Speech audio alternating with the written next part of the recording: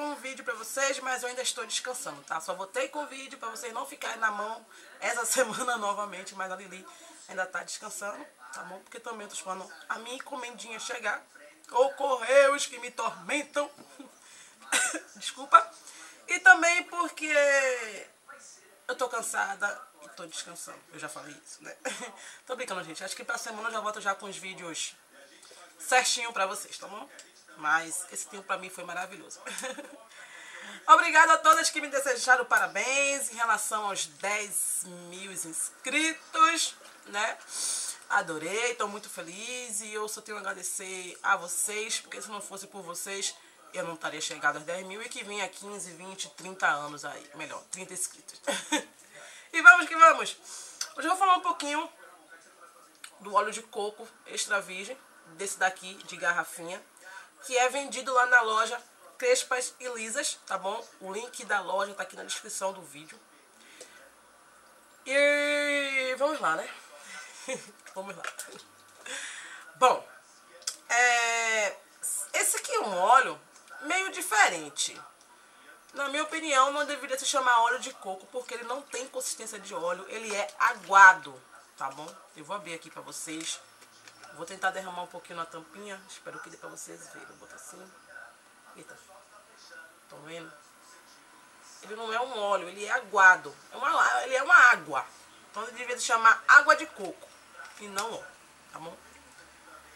E ele é para fins alimentícios ou para o cabelo e pele, como diz aqui, tá bom? Eu vi alguns vídeos, eu perguntei a Josi e ela disse que ela usa no cabelo. Perguntei a algumas pessoas e eles disseram que usam no cabelo. E o que foi que eu fiz? Eu, com o meu cabelo seco mesmo, eu, tá, eu lavo no outro dia, com meu cabelo seco mesmo, eu peguei esse esse óleo, esse óleo de coco, melhor, essa água de coco, essa água de coco, e tasquei meu cabelo, com o cabelo super molhado, fiz minha touca de meio e fui dormir, pensando que ia ter um resultado maravilhoso no outro dia, né? E quando eu acordei pra tirar, pra poder lavar o cabelo e tal, o cabelo, gente, eu não vi diferença nenhuma, meu cabelo tava no mesmo jeito, não vi nada. A única coisa que eu notei diferente nele foi que ele deu um brilho legal no cabelo, foi a única coisa de diferente que eu notei. Mas pro cabelo, eu acho que esse daqui não não serve. É a minha opinião, tá bom? Se vocês já usaram, se conhece alguém que já usou e gosta de usar, passando no cabelo, ou tem outra dica de como se usar no cabelo, deixa aqui na, na, nos comentários, tá bom? Que eu vou testar novamente com as dicas que vocês me deram e venho gravar para dizer qual foi o que eu achei e qual foi o que eu não achei, tá bom? Tá aqui, se vocês quiserem adquirir o óleo de coco, tá vendendo, vendendo lá na loja Crespas Elisas, que eu sou parceira, tá bom?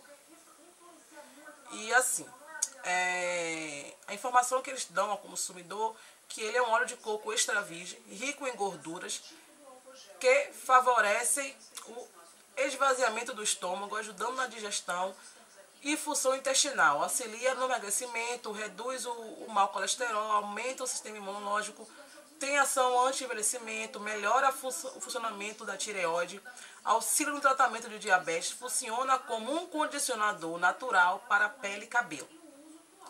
Sugestão de uso, ingerir duas colheres de sopa ao dia, se preferir adicione o produto em alimentos como torradas, sobremesas, saladas, sucos, sopas, granolas e outros de sua escolha. Tá? Óleo de coco extra virgem. Aqui não fala qual é a marca do óleo de coco.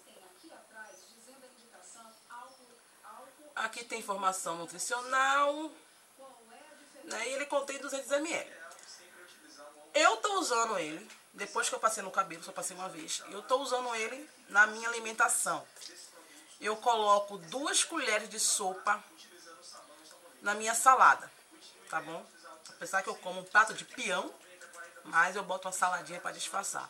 Então eu tô colocando duas colheres de sopa nele, dele, na minha salada e eu, tô, eu já senti que tá melhorando bastante o meu organismo, tá respondendo bem, entendeu? Eu tô gostando, né? Vamos ver se eu vou, se vai ajudar realmente a eu emagrecer.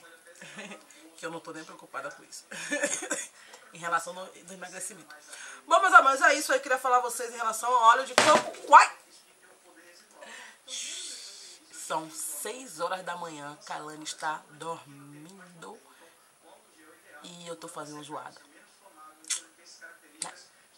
Então, ela não acordou. Ainda bem. Vamos lá. Bom, isso aqui é a resenha do óleo de coco pra vocês. E... O que, que eu ia falar mais? Esqueci. Ah, lembrei. Em relação ao sorteio da loja Crespas e Lisas, é... eu vou encerrar esse sorteio, gente, quando a loja chegar a mil curtidas. Então falta só bem pouquinho, tá bom? É... Pra gente encerrar. Acho que daqui pro mês que vem eu já encerro o sorteio da, da loja, porque eu também quero começar o meu sorteio, né? Que é em comemoração aos 10 mil inscritos. Então eu quero mandar um beijo para todos os meus amores, tá? Para quem perguntou o que eu tô fazendo pro meu cabelo crescer tanto, nada, tá? Agora que eu comecei a usar o shampoo da da Sala Online, né? O SOS Bomba de Vitamina. Eu não tô fazendo nada, gente. Só minha hidratação diária, não tô tomando remédio nenhum para aquecer cabelo. Nada, loção para aquecer cabelo, nada. Parei de usar óleo de rícino faz muito tempo. Eu vou voltar a usar novamente o óleo de rícino porque o meu cabelo tá muito fino e eu quero dar uma encorpada nele, eu vou voltar a usar novamente ele, mas eu não tô fazendo nada para crescer o cabelo. Meu cabelo tá com um crescimento bom, graças a Deus. Acho que depois também que eu parei de me estressar com ele, parei com minha preocupação de... Ai, o cabelo não cresce, meu cabelo não cresce, meu cabelo não cresce. Ele resolveu crescer. Depois desencanei nele, ele resolveu crescer. A única coisa que eu quero que cresça é minha franja. Que eu não uso ela assim, eu estou usando tiara e passadeira. Eu ganhei essa tiarinha da, da Josi, tá? Que é vendida também lá na loja. Ela me mandou de, de presente essa tiarinha e um brinco. Que eu não sei nem mais onde é que tá esse brinco. É porque, gente, eu vou chegando, vou colocando as coisas tudo na mesinha do computador. E ontem Kailane arrumou a casa, então eu não sei onde tá mais nada. Então é isso aí. Um beijo cheiro pra vocês, fiquem com Deus. E acho que eu vou voltar a dormir. Tchau, meus amores. Até o próximo vídeo. Pra semana eu tô de volta aí com vocês com os vídeos normais de segunda, quarta e sexta. Tá bom? E eu vou voltar com um vídeo de culinária. Sim, eu acho que o próximo vídeo eu vou fazer mungunzá. Hum, será que vocês sabem o que é munguzá?